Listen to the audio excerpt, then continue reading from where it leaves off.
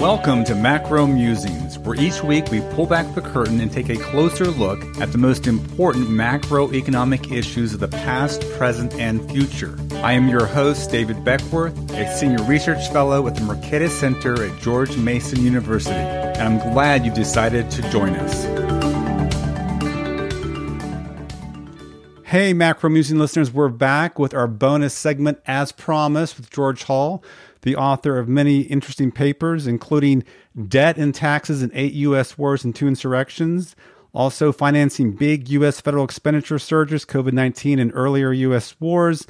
And in the previous show, we spent some time working through the theory, the thinking, proper measurements, as well as some of the history. And I wanted to wrap up our conversation by talking about, I think, one of the more interesting and probably the biggest federal government expenditures, and that's World War II and uh, in particular how we got out of that big surge. So maybe we don't spend a lot of time on how we got to over 100% debt to GDP ratio, but how did we you know come down from that because you actually have an exercise in your paper with Tom Sargent where you break down how it got lowered. So so walk us through that. How did we lower the debt to GDP ratio? Because this might be useful given where we are today even though we have we have seen a big drop already, but just moving forward, what are the lessons learned from World War II's big drop in this debt to GDP ratio?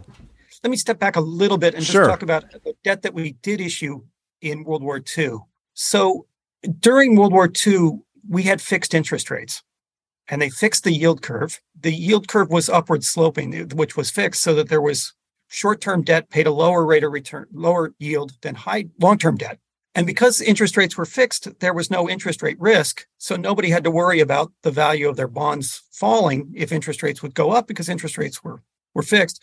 And so what it meant was that people wanted to buy long-term bonds because they, they paid a higher rate of return. And because the yield curve was fixed, there was no worry about them falling in value. So a lot of the debt that was held during World War II was long-term debt. It was ourselves that owned this. I mean, it was almost all domestic investors. There were no no foreigners were buying U.S. debt because they were fighting their own war. So it was, it was there. We also had price controls that were imposed during World War II, so you didn't have to worry about real losses either. The war ends. The debt to GDP ratio is 120%. And that's either whether you measure it by the par value or the market value, but that it's not going to differ because, again, interest rates are fixed and the price. So you kind of have forced the, those values to be very similar. But then the war ends and they lift the price controls. And immediately we have two years of 10% inflation. And that's going to knock 20% in the real terms off the value of the debt.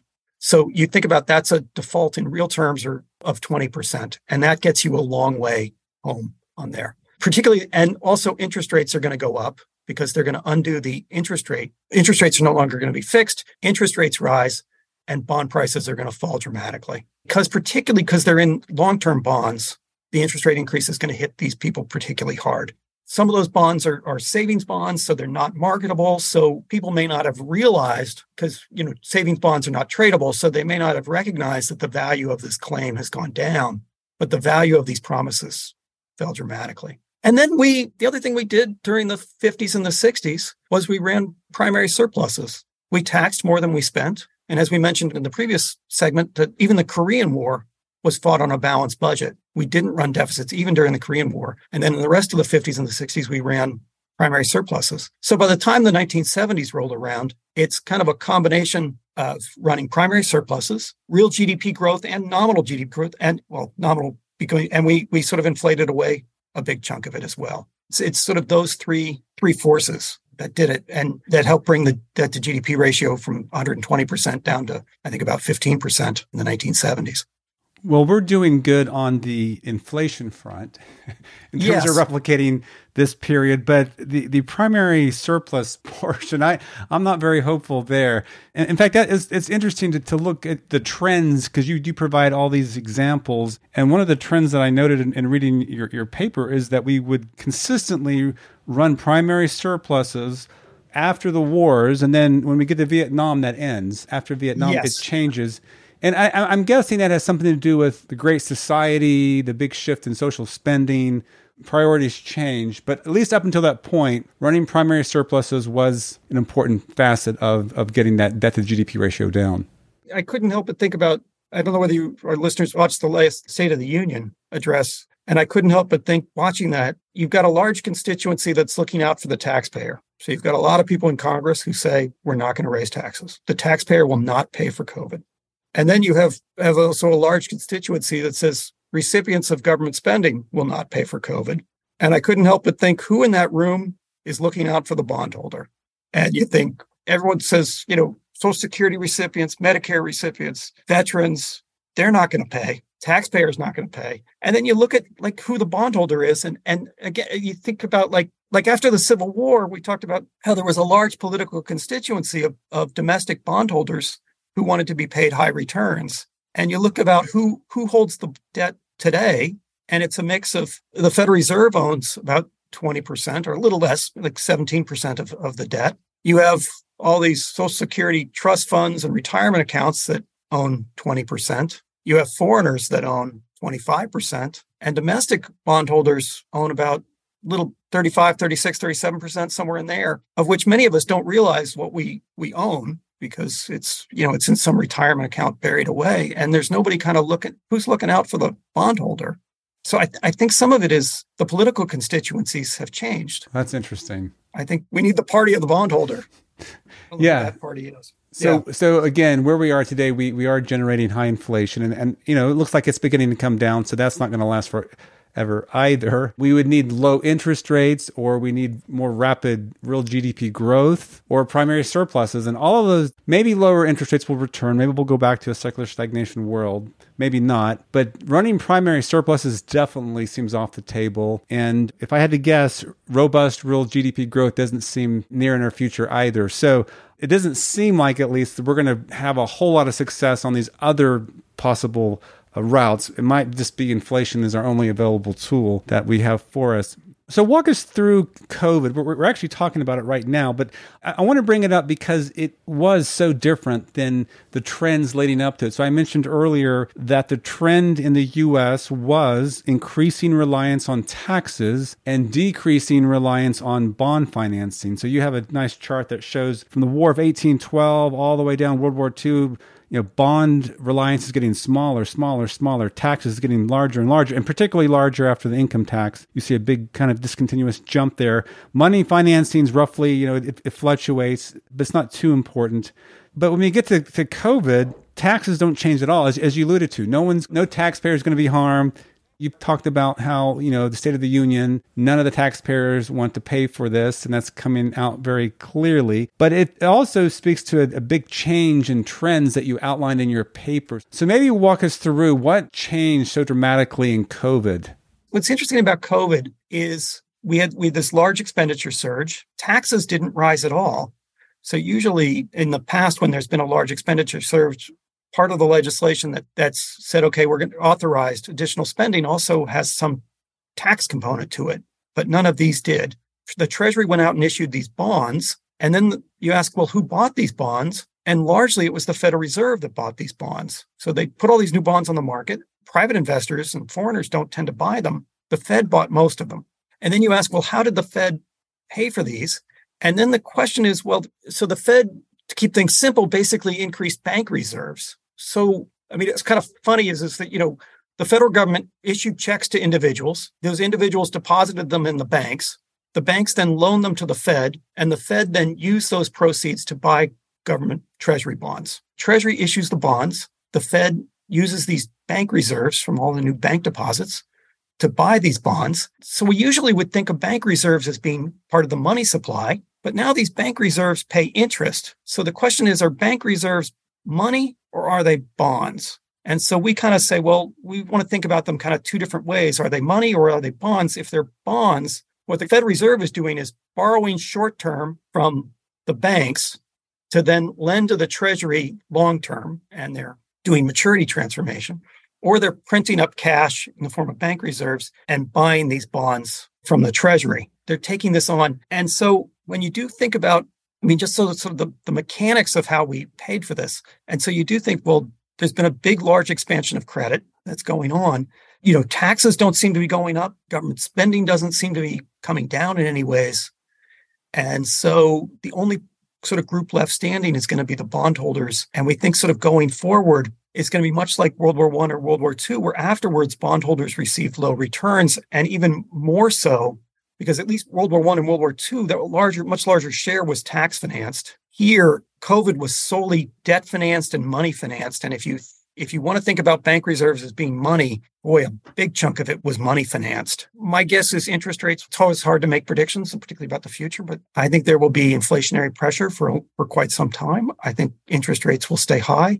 And so those losses that we all took on our retirement accounts aren't coming back anytime soon. Those are those are high returns. And I think I mean, sort of the easiest way to pay for this, if we're not going to raise taxes or cut spending, is to just simply inflate our way out of it. I mean, and we're inflating away on, on foreigners. We're also inflating away on ourselves indirectly through Social Security and these trust funds and and what the Fed holds. But we'll impose some of those costs on foreigners. and a little bit of that's our. We'll take advantage of our dollar. It's not all bad. We're taking advantage of our dollar dominance and exporting some of those costs onto people overseas, onto others. Yeah, yeah, So maybe I spoke too soon that inflation will come down soon. It, it may not because the more the more I think about it, you know, if you think of like the stock of total U.S. government debt or all government liabilities, so Fed reserves, treasury liabilities, consolidate them into one, and think of the real demand for debt. So kind of think like an old monetarist real money demand equation, but more broadly, yeah. think of real demand for government liabilities. That's the debt stock divided by the price level. There's some real demand for that. And, you know, if, if we're not going to lower the actual stock of the, the debt, then the price level is going to have to do the adjustment. And I think the point you're making, and I've heard others make, is that, you know, the way this is going to be adjusted is people are going to sell or buy with their bonds, and that's going to lead to inflation, which will eventually bring the real holdings into what they actually want. And it's going to occur through higher prices. So we may not be over the inflation bump yet. It may be a little bit longer journey, but eventually it will come to some level that's that's a desired level. I guess that, that that's the question then. What is the desired real debt balances that, that the world wants to hold in terms of US government liabilities? Yeah. I mean, I would go back to Hamilton's blessing a little bit. I th- these are really useful securities to have. I think U.S. Treasury securities. I, I, I think if they do pay a modest rate of return, they're they're extremely valuable in terms of providing um, of a sort of underlying U.S. financial markets and global financial markets. One thing that Hamilton saw was a small number of highly liquid securities is really valuable, and I think we're providing that to the world, and that and the world is willing to pay us for that. The question is, how much are they willing to pay us? And we seem to be imposing a larger and larger cost on them no one else is putting up serious competition with us on that. It's hard for me to look at the CBO reports or the Biden budget and see 10 years of, of large primary deficits and think we can put that all on the bondholder year after year after year after year. I think the lesson of Lucas and Stokey is you can take from the bondholder a little bit, but ultimately you have to promise them higher returns. And I don't see where the promise is of higher returns coming. Maybe it'll come. Yep. Well, in the time we have left, I want to switch gears a little bit. Since you're an historian of U.S. public debt. And we're in the midst of a debt ceiling crisis. Maybe that's too strong of a term, debt ceiling moment. And you, you have a paper with Thomas Sargent again called A Brief History of U.S. Debt Limits Before 1939. But in your papers, your other papers too, you, you note that between 1776 and 1920, Congress authorized and designed each individual Treasury security. It's not until 1939 that you know all this responsibility is delegated to treasury. And so treasury you know makes the decision in terms of marketing um, design you know debt management. And I, I, should add now now the fed is effectively doing some debt management as well with all the reserves and overnight reverse repos. I mean it's close to six trillion dollars. So it's, it's a sizable chunk about a quarter of, of, of public debt but what I'm curious about is, is your thoughts on this debt ceiling. I mean, does this make sense? Because it seems like every few years we're back at this point, and we don't want to destroy Hamilton's blessing. We don't want to ruin this exorbitant privilege that affords us the opportunity to run bigger deficits than otherwise would. So, so what are your thoughts on the debt ceiling? I think I share the views of, of many's in thinking that it's sort of it's a it's a very funny constraint and an unproductive constraint, and that Congress has already authorized this spending Congress has authorized the tax revenue. And so the arithmetic of what the par value, I will point out that it's a limit on the par value of the debt, not the market value of the debt. But, you know, what the, the arithmetic of the par value of the debt dictates that that will be the debt. And it's trying to outlaw basic mathematics. So in that way, it, it's not helpful. One thing we point out in our research is that, and one thing you sort of look at in the history of the debt is that when the government had a large expenditure to finance, when Congress would authorize large expenditures, say, I'll just take, for example, like the Panama Canal. We want to build the Panama Canal. We're going to need to spend some resources. Congress would then say, this much is going to be tax financed, this much is going to be debt financed, and this is how we're going to pay for it. And that would be part of the legislation. Then what happens during World War One is there's a disconnect. We should also point out that they would put limits on the amount of debt that the Treasury could issue. And the, the reason for those limits were they were bond for bond so that the Treasury Secretary couldn't divert revenue from one bond to another project. You know, if, if these were bonds that were issued for the Panama Canal, it had to be used for the Panama Canal. If this was a bond to, to fight a war, it had to be used to fight this war. It couldn't be diverted for something else. So there were there have been debt limits since 1775. The debt limit isn't some creation of World War One. But what did change from World War One was the disconnect between revenue and expenditures.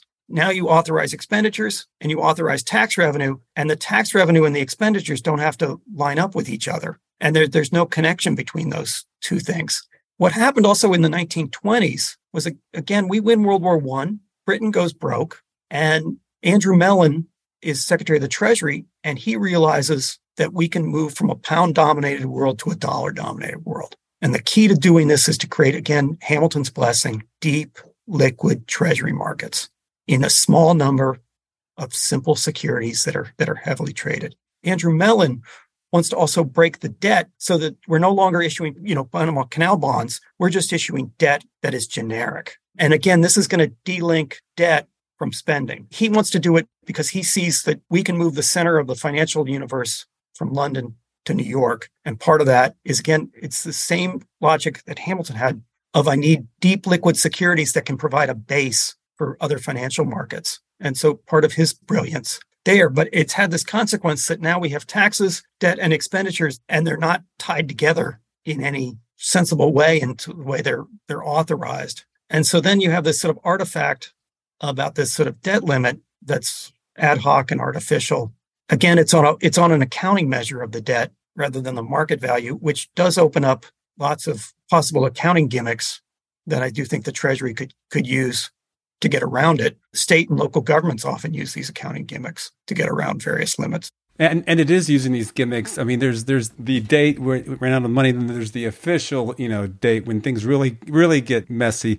So it is using these accounting gimmicks, and it, it has been interesting to me that not only do they use the par value, but they also use the the value on total debt, including intergovernmental liability. So it's not the 24, 25 trillion dollars that's marketable securities. It's it's this other six trillion as well. Yeah. It's interesting though. So Andrew Mellon, I didn't realize this also played an important role. So maybe we should say Hamilton and Mellon's blessing, blessing yes. to, to, the country. so yes. neat, neat to hear that he played a role too. Yeah. Ken Garbade has written a number of books talking about how Mellon transformed the treasury market in the 1920s and really took it from a backwater to a global preeminence. Well, this is good to know because Mellon is known for that quote: "Liquidate labor, liquidate everything." Right during you know, the Great Depression. So he, I think he's probably better known for that. But this is yeah. some, this is something to kind of maybe you know bring out that he's known for contributing to and growing the amazing U.S. Treasury market as well. Okay, with that, our time is up. Our guest today has been George Hall. George, thank you so much for coming on for this bonus episode. Oh, thanks so much for having me. This has all been quite fun. Macro Musings is produced by the Mercatus Center at George Mason University. Dive deeper into our research at mercatus.org forward slash monetary policy.